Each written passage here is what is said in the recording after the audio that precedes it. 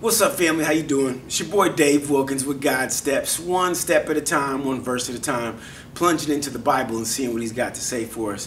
Not gonna take too much time because I know you guys are watching football and you are praising His name because it's the Sabbath. You probably went to church, right?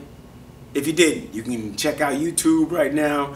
Check out pretty much every church website right now streams and replays their sermons. So get a good word into you before you start in the week and, and uh, you know get challenged with temptation. Matter of fact, this is what it's all about this week or today. Hebrews 4 15. For we do not have a high priest who is unable to empathize with our weaknesses.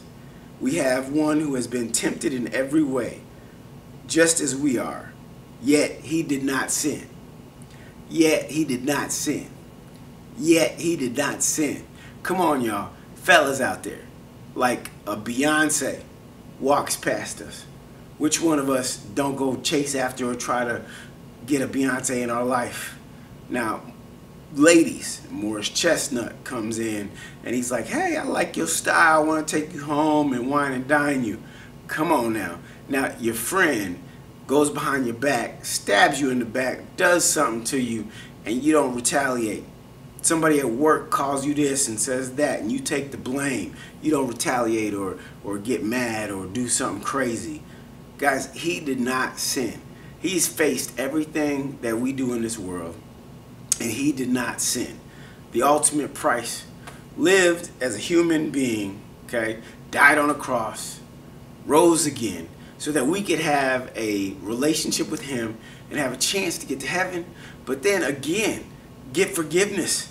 When we do screw up, it, we're not supposed to screw up, but he almost knows we're going to commit sin. And when we do, we come to him and genuinely say, look, I'm going to try my hardest. I'm going to not sin anymore. And he forgives us. Look at the grace y'all, we are, it's, it's such a blessing and, and such an admiration um, for the positioning of it all. Okay, he did not sin. Okay, so let's just pay reverence to that.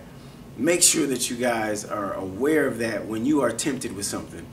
You know what? The devil don't play, and he knows how unique we are. He knows how to pull our strings individually. So somebody might be tempted by a whole bunch of donuts other person might be tempted by a whole bunch of porn. Other person might be, uh, you know, tempted by a whole bunch of sports content. Whatever it is, for you, for me, the devil knows how to get to us. So it's our job to stay in tune with God and the Holy Spirit to listen to that that conscience and say, you know what, don't do that. It's not good for you.